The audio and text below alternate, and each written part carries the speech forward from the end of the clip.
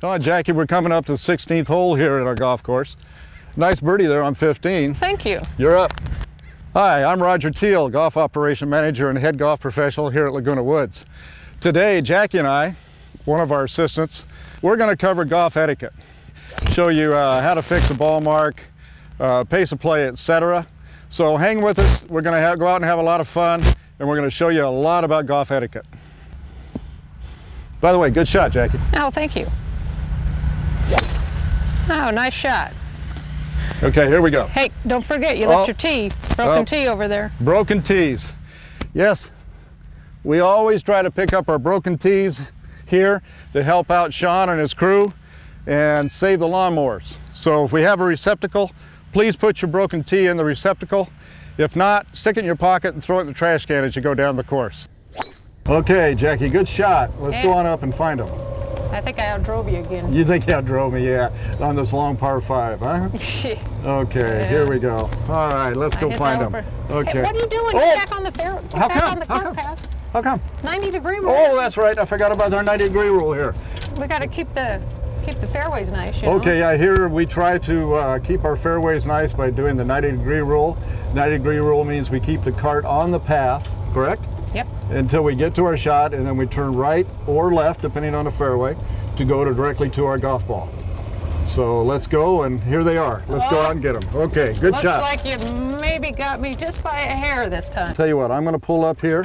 I'm going to drop you off, and I'm going to go up to my ball, and we're gonna, I'll be ready to hit. So that'll be good pace of play, ready golf. Okay. All right. All right. Now as uh, Jackie's getting ready to hit her shot, I'm going to come up to my shot, and uh, that way there won't be any dead time, and I'm getting ready to hit mine. Okay. Good shot, Jackie. All right. Now I'm getting ready to hit my shot, and boom, I'm going to hit it within a just a few seconds of her hitting hers. And now we're ready to go. She's coming up to pick me up. Nice shot. Thanks, you too. All right, we're having a good time today. Oh, look at over here. We got a situation, somebody's ball, they probably just came up behind us because we're playing ready golf and so are they. It just came up behind us. It didn't bother us or anything like that, but it's in ground under repair. Tell you what, why don't we show the people how to take relief in ground under repair? Right. Okay, the first thing is I can play the ball as it lies when it's in this white circle. Okay, but if I don't want to play it because I'm kind of standing over here in some mud, Yeah. I decide to take relief. The first thing I got to do is find the nearest point. I take the club that I'm going to use and I measure. That's my nearest point. Okay? your feet's outside of the line. Right. And then the other side, no near the hole, is right there. Now what we have to do is measure which one's closer. That's pretty close, isn't it? That's pretty even. That's pretty even. We can take a driver, kind of measure. Okay, that's about a driver and six inches, driver and about four inches. This is my nearest point. Okay. If I want relief, I must come over here. Now I get a club length, okay, to mark. Okay, I drop the ball no nearer the hole and a club length. And this is where I'm going to drop my ball. Okay. You sure Now- you didn't get closer to the hole now? I'm not closer to the I'm hole. looking. Okay. Now I take the drop, shoulder high, drop the ball. in between those two It didn't tees. roll more than two club lengths, so it's in play. It didn't go near the hole. So now I got a little different kind of shot. I can change clubs if I want to to hit the shot. That's how to uh, take relief from ground under repair. Okay. Basically the same thing on a cart path. A cart path will be very similar to that. Right there, ooh, somebody's behind the bush. Oh, that's and oh no, somebody's in a Oh, divot. No. Okay, we're gonna park right here. Yeah. This is a great place to park the cart. It's close by, but it's not too far away. It's Well- not. It's not in the way. That doesn't help the fact that my ball's sitting in a divot. Yeah, I'd rather. No, that's mine in the divot, Jackie. Is that yours? That's mine. You- ah. Ah, You're probably you're probably gonna get relief from the stake tree. Okay, folks, here we are uh, covering more golf etiquette. Someone had very poor judgment and didn't sand like this and like this. They didn't sand the divot and my ball has rolled into this crater. This is a very, very difficult shot. Look at here. Here's the divot they took out and it has roots. Okay? They could have replaced. Now what I'm going to do is show you right now how to do this. I'm just going to place my ball over here. They could have replaced this right here like this, stomped it down right away, and then you fill fill the divot in with sand, okay? Now that's, that's kind of proper, got, proper golf etiquette, okay? Uh, someone did this one correctly, but this one was very poor. Now if my ball had written, kind of stopped right there where it was a while ago, I have a fair chance of hitting that golf ball. But out of that crater, it was terrible. Now let me show you how, how and when to fix a divot. If I took a divot like that, okay, now there's no roots, nothing to fix. I looked out there, there's no roots. So after I hit my shot, I would take the sand, pour it in, kind of use my shoe, level it out. And after about a week, our grass, this kikuyu grass, grows back in and weaves itself right over that and fills that in.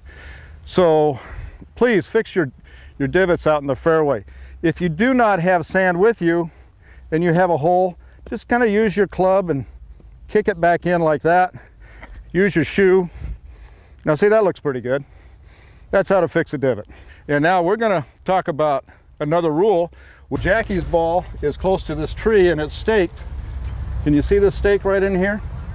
Any tree that's staked in the rules of golf, you may take stance and swing relief. Now you may or may not get relief of line of sight. So let's see what happens with Jackie. Jackie, keep swinging until you can't hit the tree. She's using the club she's intending to use on the shot. Okay, that's it. Now put your club back down like we did a while ago. That's your nearest point of relief, right there.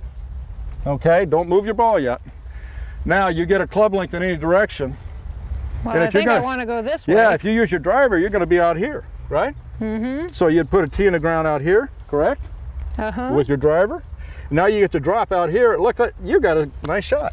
Yeah. You lucky person. I had to hit out of a divot. Yeah. Okay? So that's the proper way. Go ahead and show them how to take the drop again. Oh, that ball went forward. You got to redrop. Okay, now that ball's in play. Okay. If it had rolled back forward the second time, you would have placed it where it hit the ground the second time. Oh, okay. Just right? twice. You only just get twice. two times. That's all. Okay. That's it. Just twice. Now, some people think that you would have to go directly back and keep this bush in line, but as you can see, the rules of golf are there to help you at times. Okay? They're not there always to penalize you. Sometimes they help you. Okay? Sometimes the golf course give it, sometimes it take it away. Yeah. Okay, Jackie, I think maybe we're either in the bunker or just short of the bunker. Uh, you see balls around over here. Whoop, there's a cart sign. We gotta stop and we've got to move the cart over here over to the next tee area when we see these signs. And this protects the area around the greens because this is, you know, delicate shots for everybody.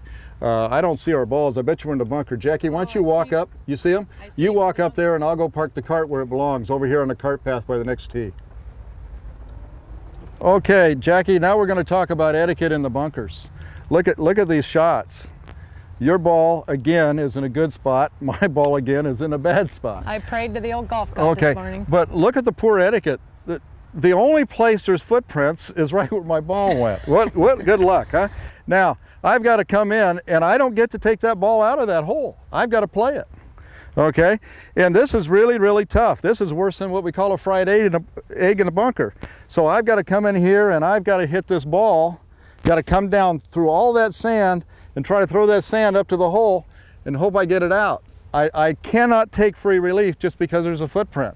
It's just poor golf etiquette of the people in front of us. Okay, and the reason why we rake it is so everybody has a nice shot in the hazard. I mean, there's enough penalty in here just being in the sand. Yeah. But you have a decent lie, okay?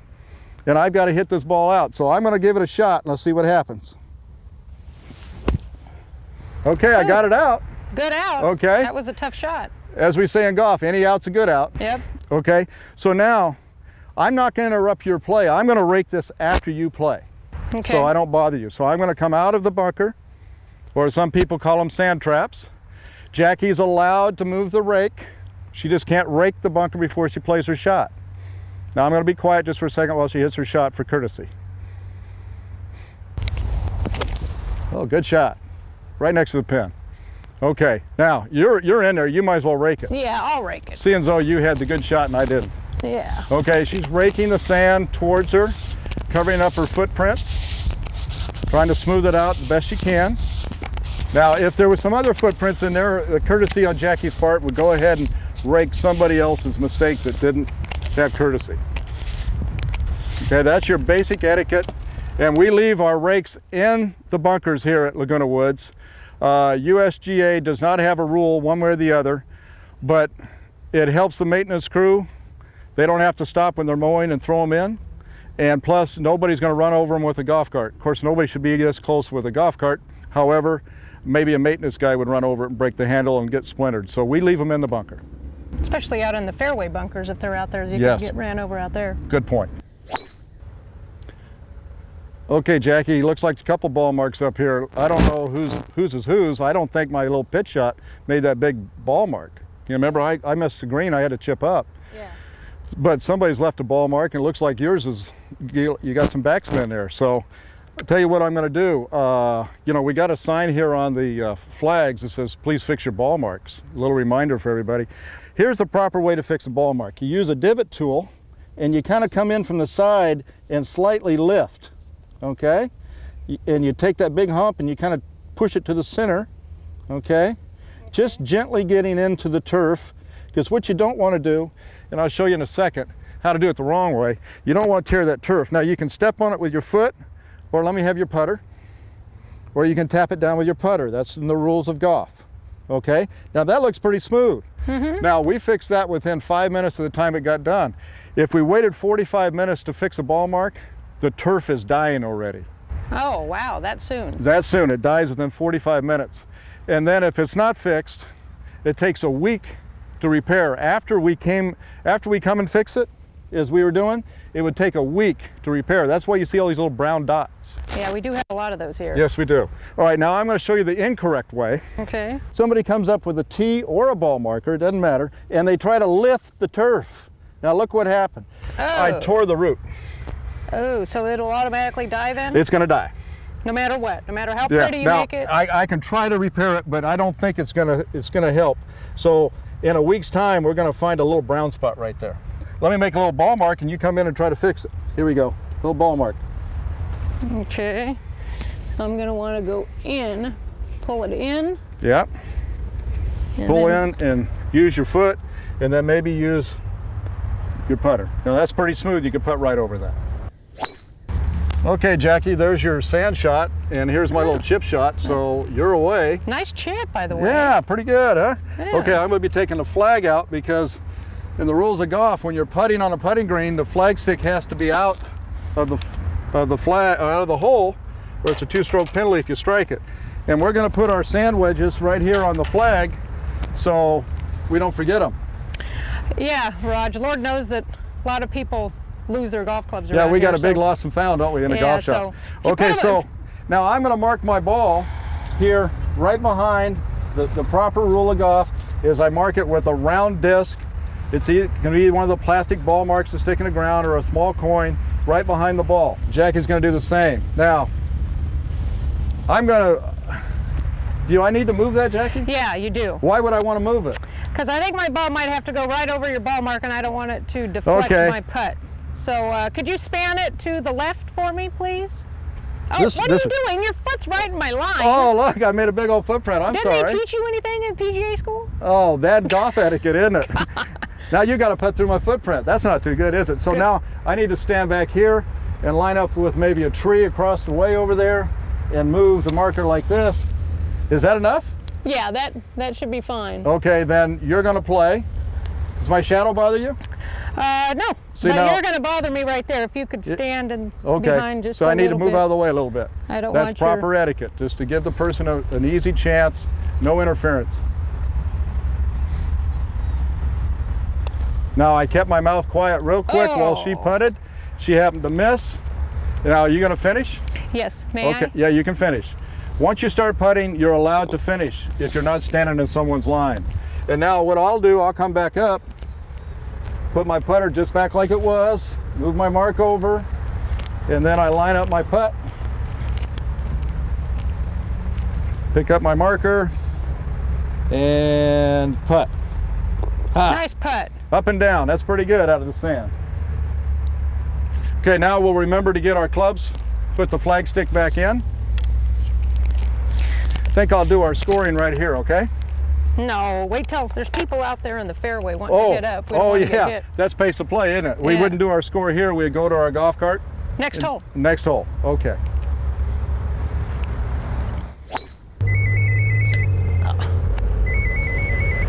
Turn that thing off? Oh, my cell phone went off.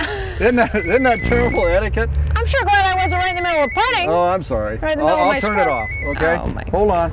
It should have been off from from the get-go, and here we are on the 17th hole, and it's the first time it went off. Whoa. But you know, as a golf manager, I should have my cell phone with me. Well, put, put it on vibrate so oh, I can okay. hear it. All right, I can put it on vibrate. Okay. Now, hey Jackie, before you putt, let's talk about if we should wave up or not. Okay. Okay. Now, the best situation of waving up is when a group is on the tee waiting, and on the next tee, there's a group wait, waiting there also. So that's a perfect time for us to pick up our balls. We mark our balls, and we stand at the back of the green and wave the group up to play. Okay. Because we don't have anywhere to go either, because they're standing there waiting at the tee. Now, if we're on this par three, and there's a group waiting, but nobody on the tee over here, we should play out Just to keep To- up the pace. to keep up the pace. Okay. Okay. So is that clear? I mean, Yeah. you understand that? Oh, yeah. Now, that twosome down there waving at us. Yeah. They're kind of frantic. They want us to play, and uh, there's there's nobody there. So let's let's let them wave it, you know, and then we'll catch up. Okay. Okay. Because that's the 18th hole, so they're a little frantic. Let's let them play. All right. Okay. Well, here, let's. so uh, now we'll mark our balls and we'll get out of the way.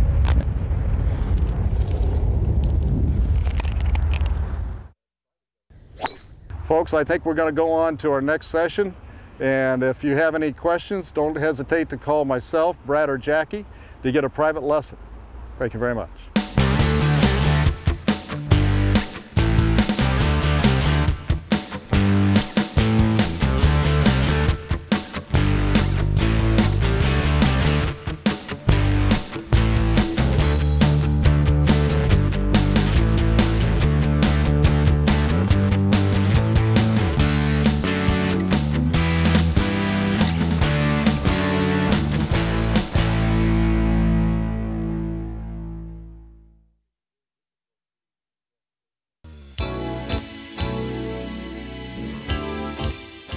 Recreation Division offers a comprehensive program of classes, lessons, and special dining and entertainment events throughout the year.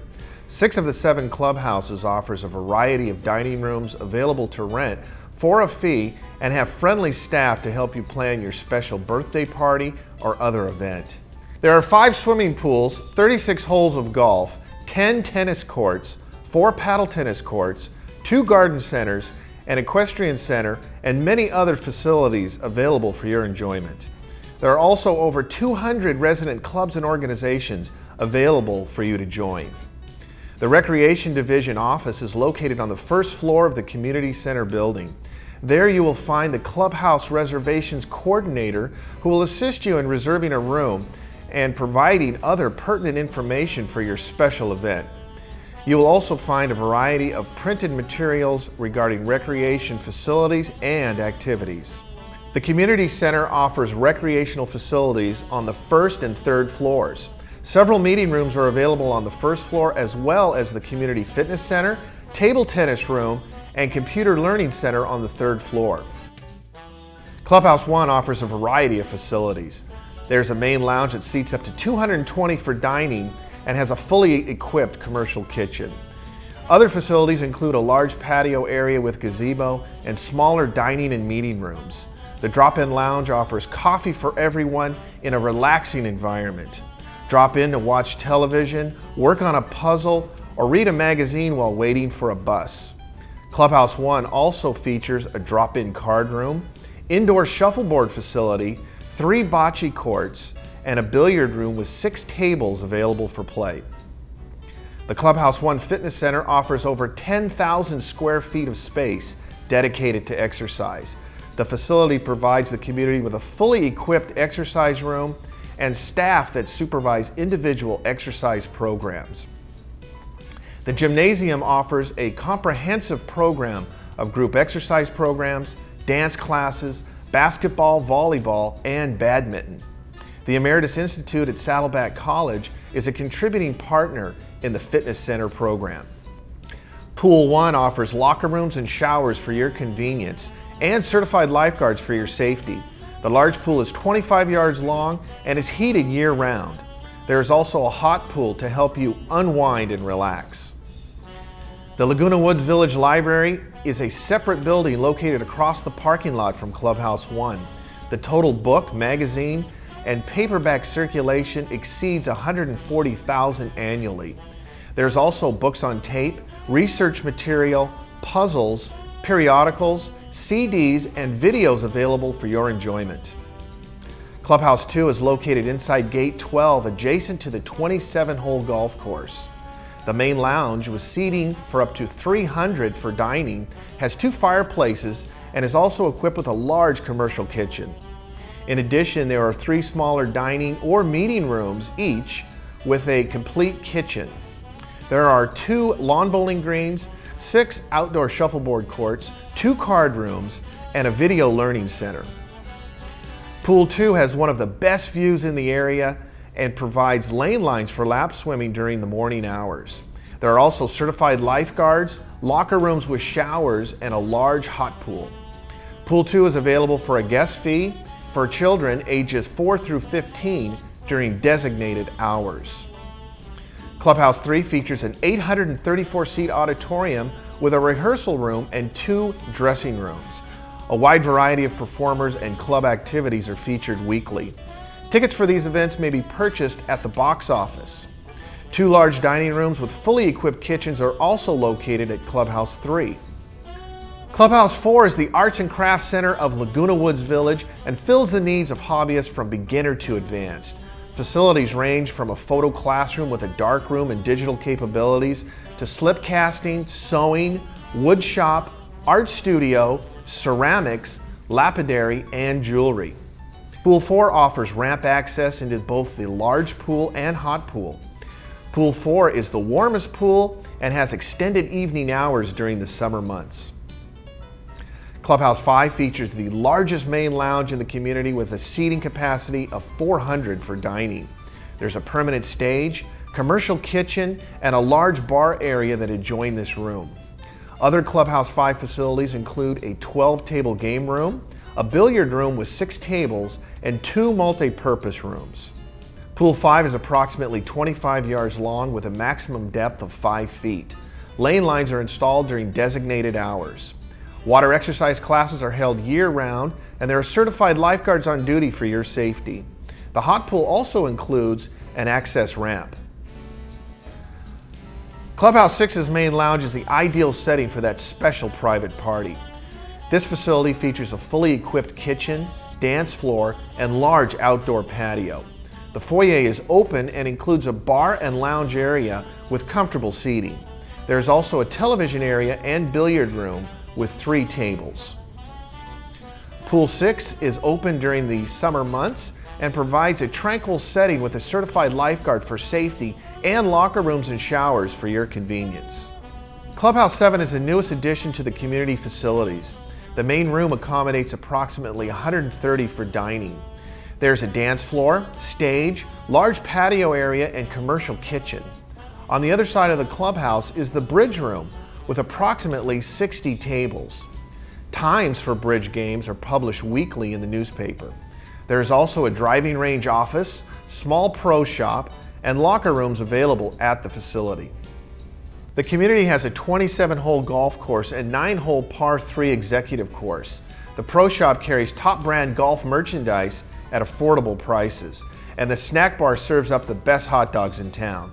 A driving range and practice area include putting greens, and a bunker and chipping area. Club and electric cart rentals are also available. You may schedule golf lessons with one of our golf professionals. There are 10 tennis courts inside Gate 12 West adjacent to the driving range. There are ball machine clinics, tennis lessons, and coin-operated lights for evening play offered at the facility.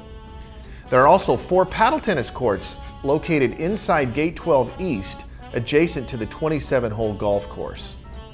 Two garden centers offer a place for residents to hone their horticulture skills and work on their own gardens. The annual charge depends on the size of the garden plot. Please check with the garden center coordinator for plot availability. The Equestrian Center provides residents with a unique facility and a variety of activities including guided trail rides, riding lessons, and horseshoe pits. Special events include horsemanship camps, horse shows, and cookouts are scheduled throughout the year. There are 10 community-owned horses and boarding facilities are available for resident-owned horses.